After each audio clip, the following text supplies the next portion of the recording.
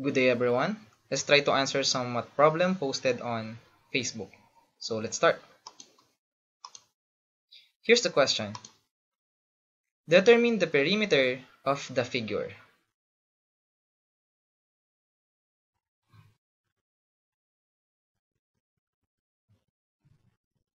Now, if you want to try this problem, just pause this video and if you're ready, here's the solution.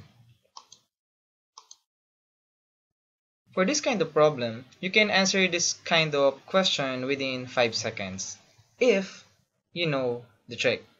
Now, if you don't know the trick, watch the video until the end. Our goal in this problem is to find the perimeter. And the first thing to do is what is a perimeter? So perimeter of a figure is the distance around the edge of a shape.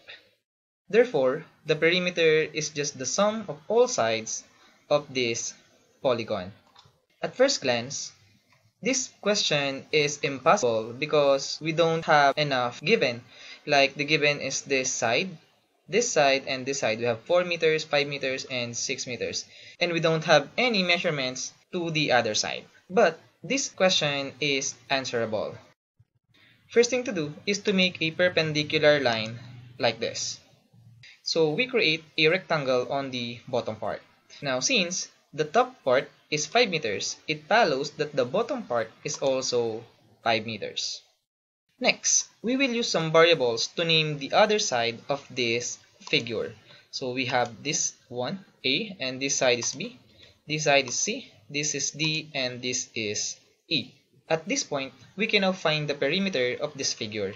So the perimeter of this figure must be the sum of all sides. So we have 4 plus A plus D plus B plus 5 plus C plus 5 plus E and plus 6. So we have the perimeter 4 plus A plus D plus B plus 5 plus C plus 5 plus E plus 6. Now rearrange and we get the perimeter of this figure must be equal to 20 plus A plus B plus C plus D plus E.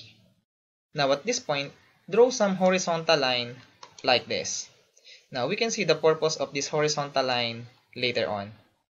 Now notice that this side length is A and this side length is also A. This length is B and in the opposite side we also have the length of B. This side measures C and the opposite side is also C. Therefore, the side A plus B plus C is simply equal to 6 meters. Therefore, this a plus b plus c is simply 6. Next, how about the value of d plus e? So at this point, we draw vertical line like this. Now notice this side measures d and on the opposite side is also d. And this side is e and the opposite side is also measures e. It follows that e plus d is equal to 4 meters. Therefore, this d plus e is simply 4 meters. It follows that the perimeter of this figure must be 20 plus the value of a plus b plus c is 6 meters plus the value of d plus e is 4 meters. Therefore, the perimeter is simply 20 plus 6 plus 4 or simply 30 meters. And we're done.